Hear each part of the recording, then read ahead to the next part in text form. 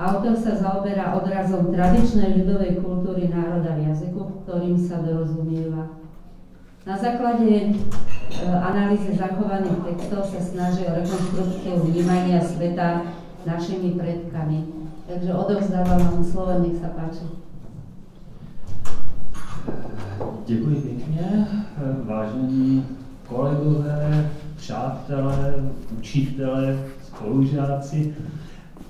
Já jsem velice rád, že zase po roce se s vámi mohu setkat a Chtěl bych se s vámi podělit o eh, část svých uvažování o etnolingvistice a jejím přínosu eh, translatologii a praktickému hlavně překladu. Je to věc, eh, nad kterou přemýšlím už delší dobu.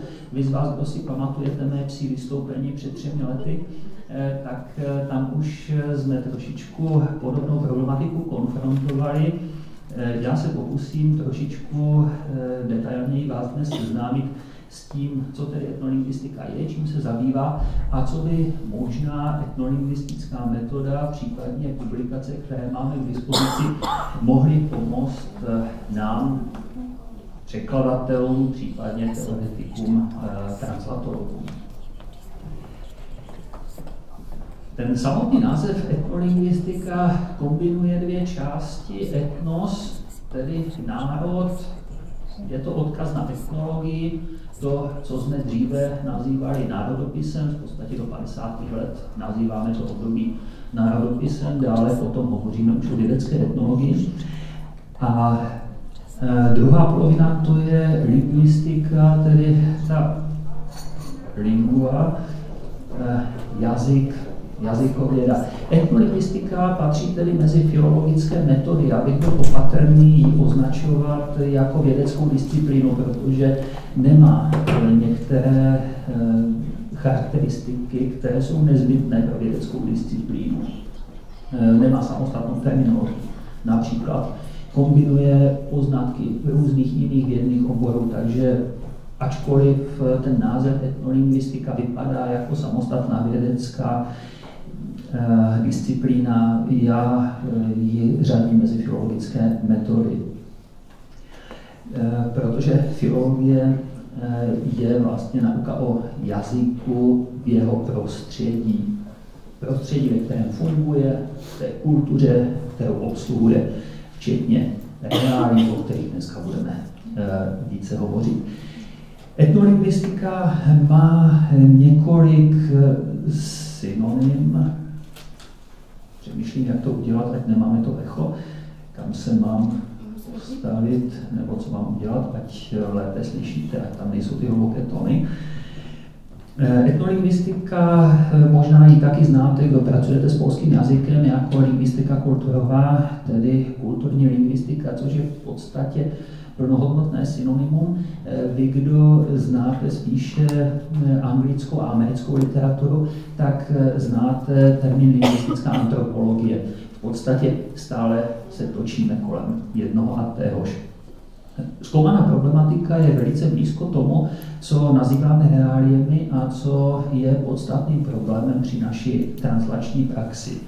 Poznatky, ke kterým etnolingvistika za necelé půlstoletí své existence v tom moderním pojetí dospěla a které také systematizovaně zachytila, zvláště ve slovanských jazycích, eh, mohou pomáhat hlavně překladatelům při poznávání skutečného obsahu uměleckých děl, anebo také textů eh, lidových, etnologie jim říká spíše tradiční texty než lidové, ale my používáme pracovně spíše ten termín lidové texty. No a tím uh, nám překladatelům může etnolingvistika usnadnit proces interpretace originálu. Tedy čím více kulturem ten eh, text, se kterým pracujeme, obsahuje, tím více nám tato metoda může pomoct při potenciálním překladu. Etnolingvistický přístup se zaměřuje na zkoumání odrazu tradiční lidové, tedy kultury v jazyce. Jinými slovy, zabývá se naivním, podvědomým chápáním světa, eh, jak je zachyceno v jeho jazykovém vyjádření. Je to tedy metoda, která propojuje především pohled lingvistický, etnologický a antropologický. Jeden z hlavních představitelů vedoucích evropských etnologistických škol, Jerzy Bartnický, přilehavě říká, že jazyk je živel, ve kterém žije kultura. Já si myslím, že tady zrovna e, v souvislosti s etnolingvistickým zkoumáním je to velice pěkná a přilehavá definice.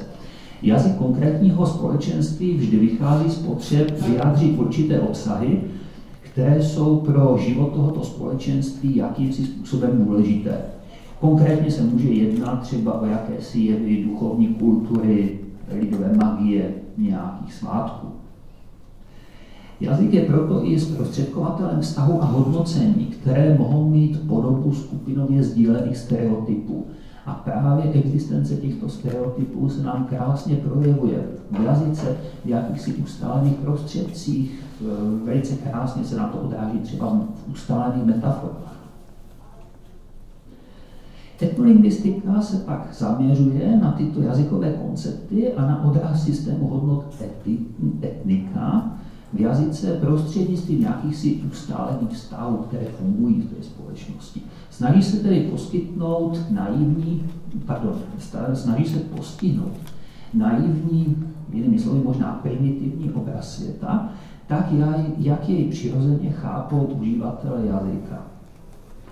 Pracuje s jazykem především ve formě textového vyjádření. To je velice důležité. Zkoumají se typicky ustálené texty, například folklorní, obřádní, ale také to jsou ty mikrotexty, ustálená přirovnání, frazeologizmy. Velice často se opírá eh, ta, toto zkoumání o folklor, zvláště ruská škola. Zkoumá písně, pohádky, pověsti, až po úplně jednoduchá říkadla, ale podstatným zdrojem jsou také třeba i už zmíněné obřady a v jejich rámci malé ustálené řečové útvary. Různá zaklínadla e, při prosperitních obřadech, e, při jiné lidové magii. Mohou tam patřit třeba i e, symbolizované pozdravy. No a studium těchto textů kombinuje s etnografickým poznáním pověr, praktik, přesvědčení, náboženství. Světlana Michalovna Tolostá třeba v posledních několika letech se hodně zaměřuje na to náboženství hodnotového systému, no a vzájemně eh, tyto kulturní hodnoty a jejich jazykovou reflexi souvztažňuje. Etnolingvistika je ze své podstaty zkoumání diachroní, které se pokouší o zpětnou rekonstrukci obrazu světa v lidové kultuře na základě zaznamenaných textů. Přínos této výzkumné metody spočívá především v tom, že ustálené jazykové prostředky přežívají s jakousi setrvačností ještě déle, když samotné jevy zanikají. Navíc my si musíme uvědomit, že zejména v oblasti primitivního jazykového obrazu světa, eh, té lidové kultury, velice dlouho a vlastně čím více půjdeme v rámci slovanského prostoru na východ, tím déle neexistovala žádná jazyková reflexe. Uvědomme si, kdy začínaly probíhat sběry slovenského folkloru, českého folkloru, ukrajinského třeba běloruského folkloru. Je to poměrně pozdě.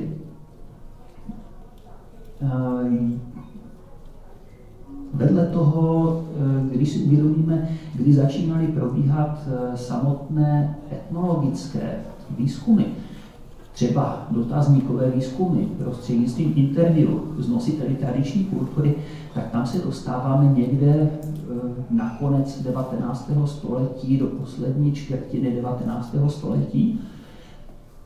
Ale když nahlédneme do těch tradovaných textů, do toho, co je zachyceno v různých těch písních, zaříkávadlech, pohádkách, příbězích, obřadech, tak se dostáváme eh, mnohem, mnohem dále, než nám umožňuje tradiční metoda používaná v etnografii.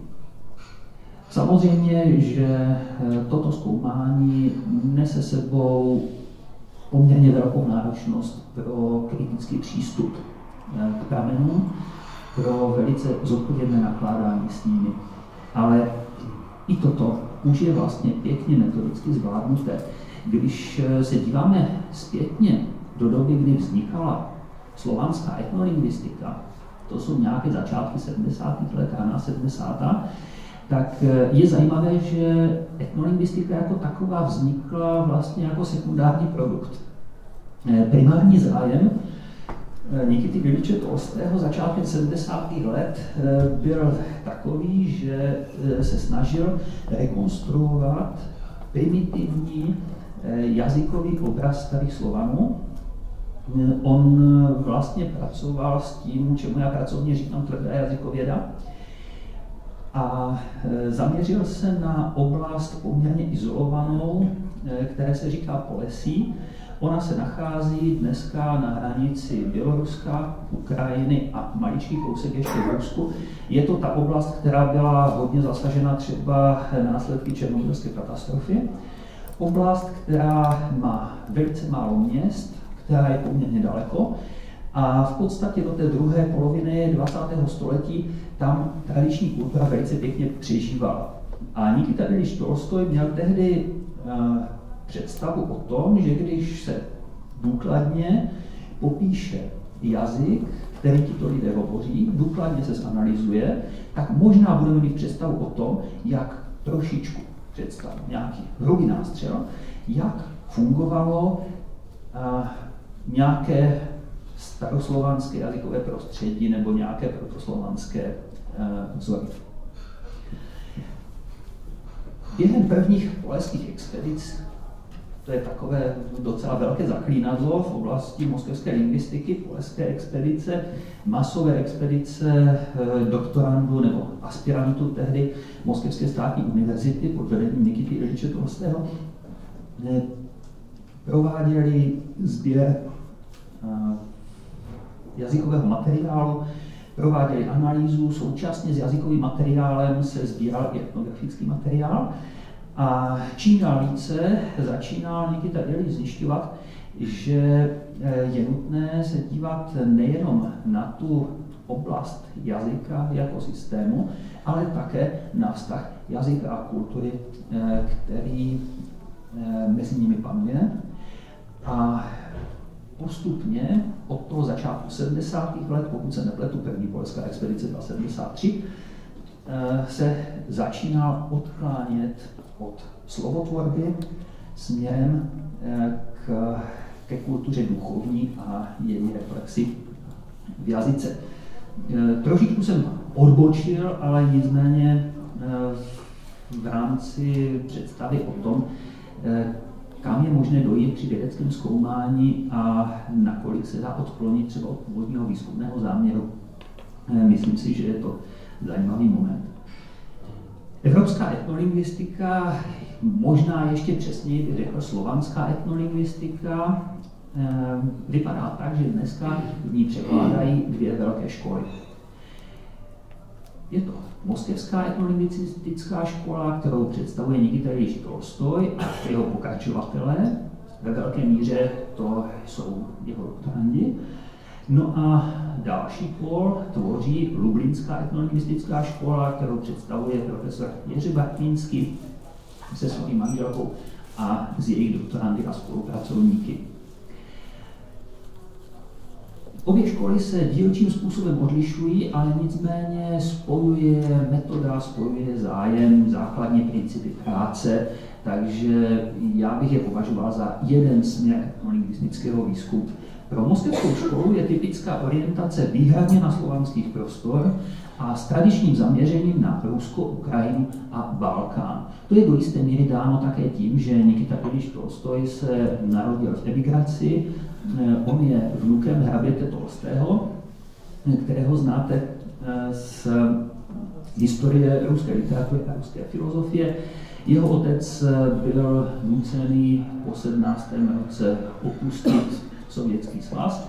Nikita Ilič se narodil v Srbsku, získal tam středoškolské vzdělání, ale rodina Tolstých se částečně potom vrátila do Sovětského svazu a vlastně celý život Nikita Ilič, celý svůj profesionální život strávil v Rusku, v Sovětském svazu. Nicméně ten jeho zájem k jihoslovanským jazykům, primární orientace na porovnávání, srovnávání východo a jihoslovanských jazyků celý život trval a jestli být upřímný, tak v podstatě toto zaměření, kdy západoslovanské jazyky, naše slovenština a čeština, stojí jako popravky kousíček někde na nějaké periferii zájmu této školy, tak e, trvá dodnes. Pro moskevskou školu ještě typicky opravdu důraz na výzkum jazyka vesnického folkloru, podtrhávám to slovo vesnický v tomto případě, e, včetně úlohy rituálních předmětů a činností, úlohy náboženských představ, no a ta primární snaha o rekonstrukci nejstarších slovanských mytologických kontextů.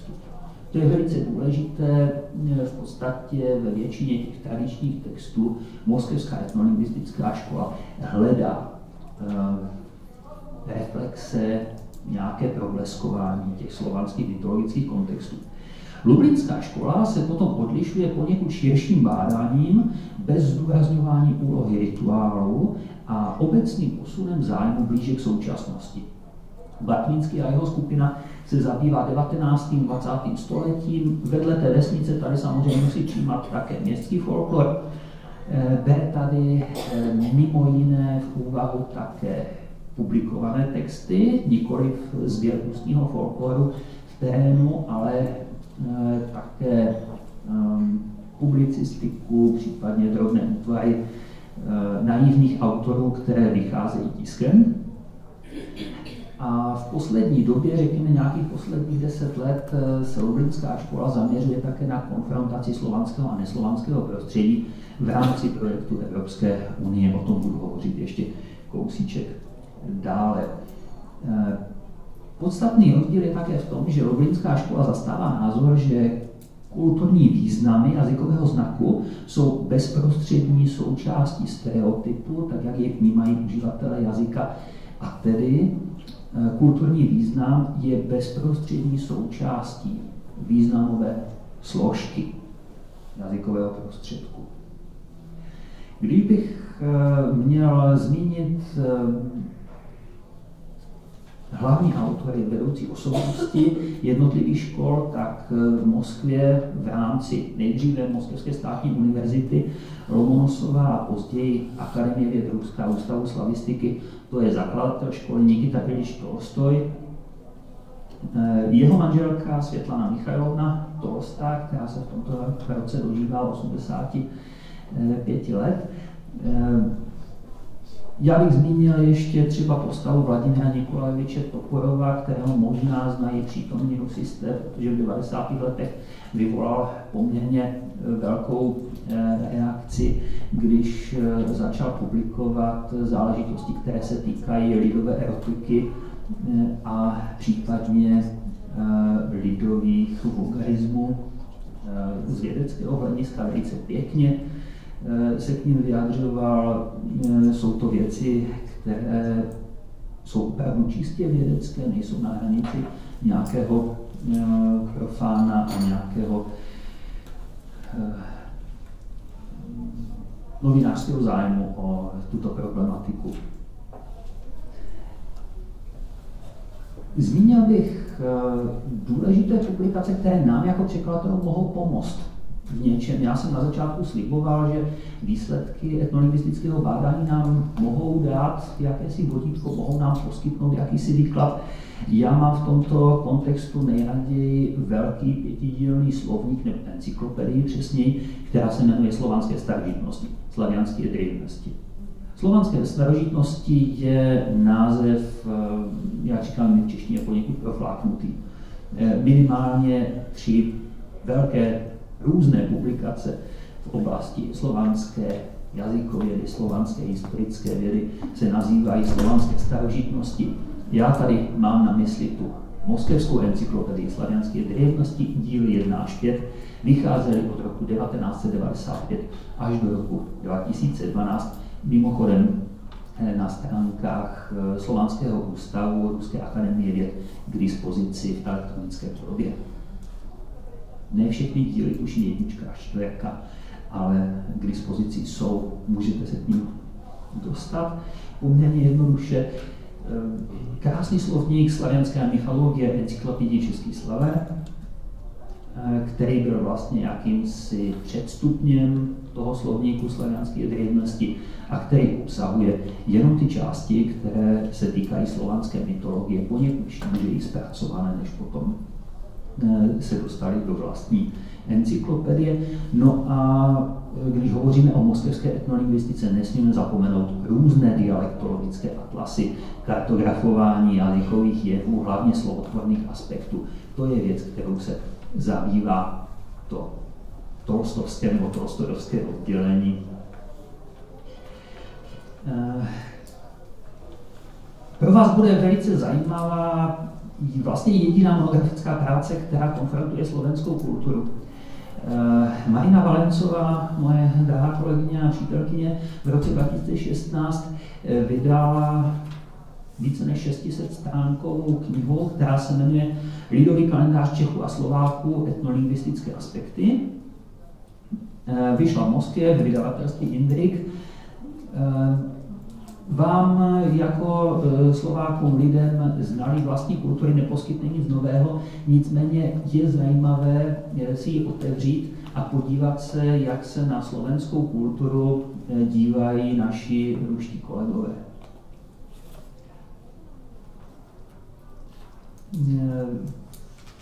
Moskva prováděla také témní výzkumy na Slovensku. Slovensko vlastně z těch západoslovenských, pardon, západoslovanských jazykových terénů je nejvíce představené, nejlépe zmapované. V okrese Zvolen, tam to byla maďarská vesnice Iperské Ulany, Ipoliv Edemes, Eh, mimochodem s kolegy při překladu jedné monografie do češtiny jsme sváděli téměř boje, kdy jsem trval na tom, že vesnice by se měla v textu pojmenovávat nejenom svým maďarským názvem, ale také jako i Perské ulany. Nakonec jsem kolegy přesvědčil, eh, že tento název je uváděný jako první a maďarský název až potom v závorce jako další. Eh, zkoumali ještě oblast Malofatru, oblasti Turce, to byly vesnice Bela a Bystrička, eh, Liptovské vesnice na Moravě to byl Zuberec, eh, v Horehroni samozřejmě Hrpa, Šuměc, klasicky a na Zamabuří to byla Osturňa. Ty výzkumy probíhají na základě jednotného etnolingvistického dotazníku, který byl primárně zpracovaný Annou Arkadivnou Plotníkovou pro oblast Balkánu, ale ve Sloven, na Slovensku byl mírně modifikován, byl oskoušen a podle něho vlastně dodnes fungují ještě další terénní výzkumy. Třeba v letošním roce jsme zkoumali eh, obec Marávka v Beskydech, opět podle tohoto dotazníku. Takže když se podíváte po nějakých 15 letech eh, kontinua těchto jazykových výzkumů podle jednotného dotazníku, na zpracování jednotlivých eh, oblastí, tak vám to poskytuje poměrně komplexní obraz a dává to do budoucna ehm, krásný, krásnou možnost porovnávat výsledky. Eh, jak ty slovníky vypadají?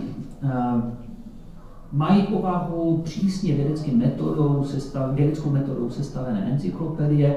Heslové slovo je většinou název reálie, třeba polázník, to je nějaký člověk nebo dokonce i zvíře, které po novém roce nebo na nový rok přichází jako první do dveří, do stavení a podle něho se předpovídá. Pokud je to muž, je to dobré, pokud je to žena, zvlášť stará, nefertilní, je to špatné.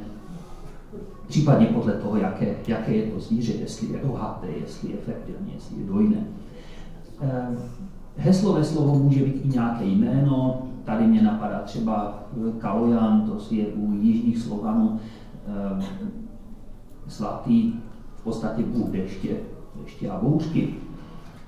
Ehm, název svátku Ivana Kupaly, ruštináři víte, že to je velice důležitý svátek pro Rusy, Ukrajince, Bělorusy. Název obřadu třeba zaříkávání bouřky, obřadního předmětu, brány, hrábě, šátek, um, metla a tak dále, případně jevu nebo stavu, nahota, smrt, narození. Výklad je potom zaměřený maximálně na celý slovanský prostor, pokud to jenom jde, vždycky přísně s uváděním výskytu, funkce, původu, historického vývoje i příkladu. No a někdy také jsou zachyceny mezikulturní paralely. Nevždy se to podařilo, nevždy je to dotaženo do konce, ale i tady nám to zejména při překladech mezi jednotlivými slovanskými jazyky pomáhá.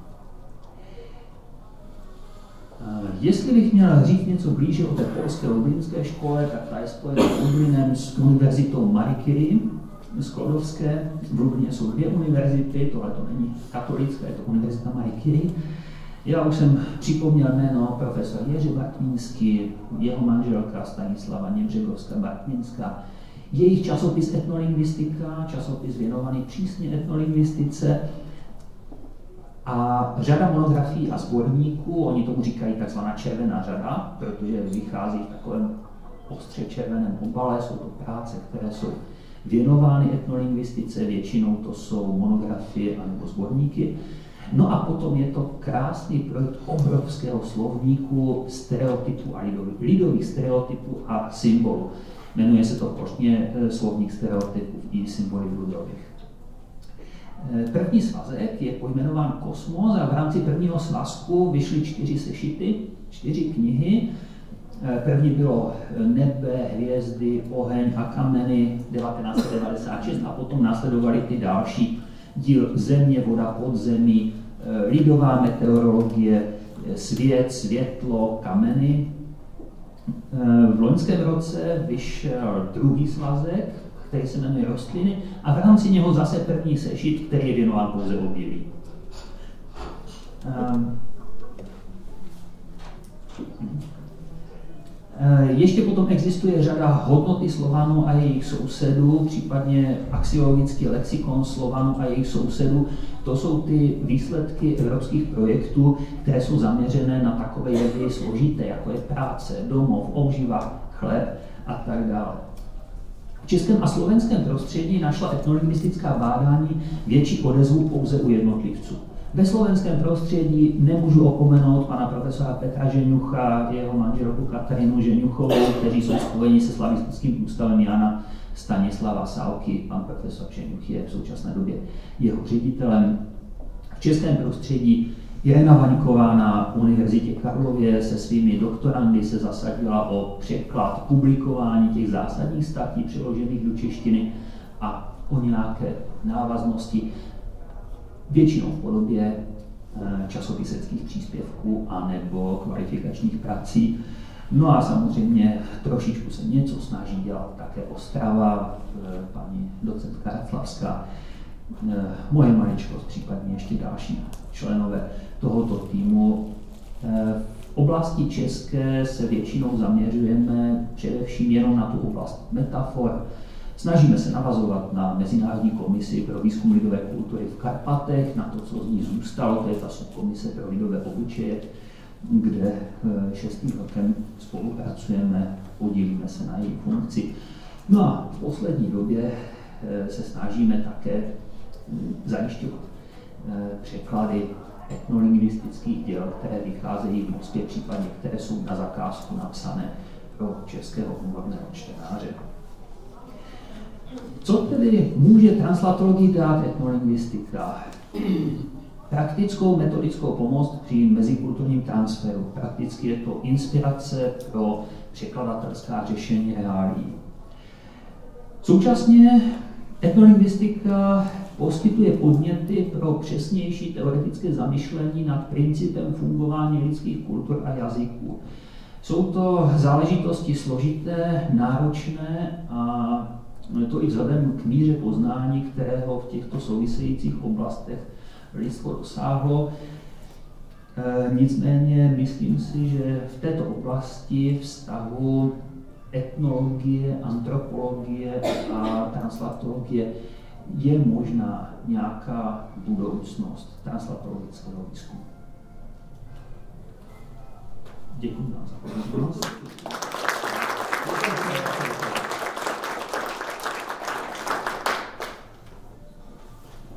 Ďakujem veľmi pekne za zaujímavú prednášku. E, poprosím vás, kto má nejaký príspevok diskusný alebo nejaké otázky, ktoré by ste chceli položiť. Nech sa páči.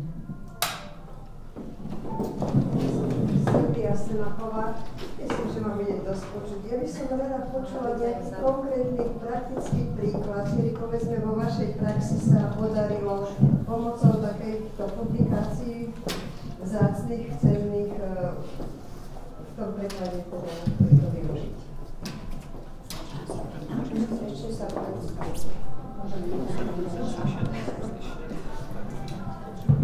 Kvůli záznamu potřebujeme mikrofony. Jediný praktický příklad, který ale velice netypický, je, kdy jsem se opíral o tyto knihy právě při redakci českého překladu eh, knihy o karpatských lidových tradicích. Eh, knihy, která byla napsána přímo na zakázku naší univerzity jako podpora eh, v současné době se stále rozvíjející diskuze o tom, zda vůbec existovala valašská kolonizace. Karpat, naší Beskyt a Slovenska existuje, dívám se na pana docenta Šebestu, eh, který nevěřící kroutí hlavou, ale viděl jsem to na vlastní oči, kdy eh, kolegové, historici, eh, mladí a neklidní, začínají tvrdit, že v době, kdy my si myslíme, že proběhla valašská kolonizace v nějakém to 14. 15. století, první dvě vlny, tak eh, že už existovalo dost knih, spousta lidí umělo psát na to, aby jestli se objevily někde na Meziříčském a Vsetinském pánství nějaké rodiny, které přišly se svými ovcemi, mluvili nějakým jazykem, který nikdo nerozuměl, takže o této migrační vlny by snad někdo něco napsal. Tím, že nejsou schopni nic najít, eh, tak eh, spustili diskuzi o tom, že možná opravdu valašská kolonizace je konstrukt, který jsme si na sebe vymysleli. Eh, když jsem o tom vyprávěl kolegům v Moskvě, tak nabídli, že tedy napíšou monografii, kde tedy ne na základě historických dokumentů, ale na základě právě etnolingvistické analýzy se pomohou těmto nevěřícím Tomášům dokázat, že valašská kolonizace nějaká byla a jak prošla. Protože eh, vy, kdo jste dále od chovu ovcí a od problematiky valašské kolonizace, tak jste nespozorovali zajímavý pokus asi před čtyřmi lety, kdy eh, chovatelé, svaz chovatelů ovce valašky, tradiční valašky, eh, se rozhodl, že provede uvozovky, vědeckou rekonstrukci valašské kolonizace. V rumunské Valašsku zakoupili stádo ovcí, nějakých 15 kusů a začali s nimi redikat po, těch, po tom karpatském hřbetu, po přímé lince eh, na Slovensko a až do Jablunkova, protože předseda svazu chovatelů je z Jablunkova, tak to mělo skončit všechno v Jablunkově. Tři týdny chudáky ovečky hnali z toho Rumunska. Byli hrozně ušlé v okamžiku, kdy slovenští pohraničníci maďarsko-slovenská hranice řekli, že ovečky nemají titulované uši, nemají čísla, že je nepustí na území tak nakonec Slovensko bylo z této akce vynecháno. Eh, v Čapci se koupilo nebo zapůjčilo, teďka nevím, jaká byla ta situace, možná, že bylo i půjčené, maličké stádečko pěti kusů oveček, se kterými se těch posledních 30 kilometrů slavnostně urazilo, protože to bylo za peníze Evropské unie, už tam byli novináři a muselo se to nějakým způsobem prezentovat před veřejností. No, ale už jenom to, že měl někdo tu představu, eh, že Romuni se sebrali a za tři týdny se svými ovcemi veškerou technologií e, zvládli dojít na Valašsko a tam kolonizovat a osednout. E, už to prostě vyvolává e, v nás vědcích nutnost reagovat. No, čemu jste dospěli? Že válská kolonizace byla. Samozřejmě válská kolonizace byla, že byla trošičku jinak, než eh, ji třeba prezentují někteří průvodci eh, v památkách lidové kultury, protože to nebylo až tak jednoduché. Ta válská kolonizace neběžela po jedné přímce, ale šla přes Ukrajinu. Samozřejmě, že po té cestě se obyvatelstvo mísilo. Takže k nám, a konec konců k vám, už přišli uh, rumunští valaši slavianizovaní. Promíchaní uh, s ukrajinským obyvatelstvem, Nešli tři týždně zkrátka. Já si myslím, že jim to trvalo po více generací. Mimochodem, ještě jedna, jedna zajímavá reflexe byla u eh, studenta biologie, respektive doktoranda biologie eh, z Masarykovy univerzity z Brna, který eh, se rozhodl provést analýzu DNA u našich Valachů a u rumunských Valachů. Tuším, že tam bylo nějakých přes 60 osob, kde prováděl stěrizbutiny ústně, dělala se analýza DNA, přišlo se na to, že tam je nechci zalhat, ale 92 nebo 90, pardon, 62 nebo 64% zhody, což hovoří o genetické příbuznosti. Ať si historické doklady typu kronik říkají, co. Respektive ať mlčí, ať si třeba i mlčí o tom, že nějací valaši se svými ovečkami přišli. Takže v této chvíli, protože eh, moc nepřekládám, nepřekládám to co, to, co by mě bavilo, třeba i ty texty z oblasti lidové kultury nebo reflektující lidovou kulturu, tak eh, možná do jisté míry tohleto využití je spíše nějaké nezbožné přání a i snaha uh, informovat těch, kdo se možná s podobným textem dostanou do rukou, že nemusí hledat, nemusí spekulovat, ale mohou se opřít o encyklopedickou literaturu, která je kvalitně zpracovaná. Ďakujem veľmi pekne. Má ešte niekto nejakú otázku? Lebo už čas sa nám naplnil. Tak spýtam, lebo. Na našej pôde e, existuje aj také, že je skupina, ktorá je členom e, týmu ktorý pracuje na celoslovenskom dialektologickom atlase. Viem, že na, na, najnovšie, ale to boli termíny z oblasti polnohospodárstva. To ste vydávali na Slovensku? Áno, áno. Áno, a to nám tu, ale to už je dávnejšie, doktorka Ferenčíková prezentovala. A to je nesmierne zaujímavé, pretože tam na mapách slovanských, Rusko, Polsko, Čechy a tak ďalej, my je vidno, ako sa niektoré tie polnohospodárske termíny a s ním súvisiace, ja neviem, božstva, aj zároveň, aj je tam, je tam sú sa spojené pranostiky, že ako sa to vyvíjalo a to je nesmierne zaujímavé, že to nám vlastne ukazuje na tú takú praslovanskú pôvodnosť, na ten pôvod. Takže či to, to poznáte zrejme, áno?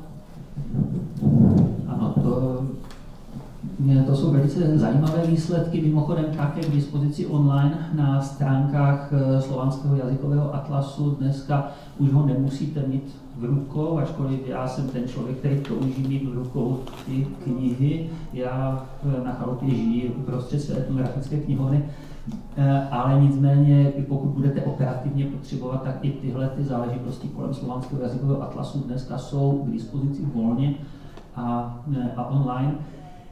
Eh, zajímavé, zajímavé věci, obrovská studnice poznání, eh, bohužel eh, práce v některých zemích, které se podílejí třeba v Bulharsku z důvodu nedostatku prací, byly prostě zastaveny. Byly stopnuty a třeba ten svazek, který připravovali Bulhaři, tak dneska byl zveřejněn pouze jako nějaká velice jednoduchá, rychle zpracovaná monografie aby se věci dostaly minimálně k tomuto materiálu. Ďakujem veľmi pekne. Eh, chcela by som ešte raz apelovať na tých, ktorí ste sa ešte nepodpísali na prezenčnej listine, ktorá sa nachádza vzadu na tom druhom stole, aby ste tak urobili, lebo ešte stále som dostala aj že nie ste všetci podpísaní. Takže tak, dve mená. Á, tak dokonca vymenovali. Takže ďakujem veľmi pekne.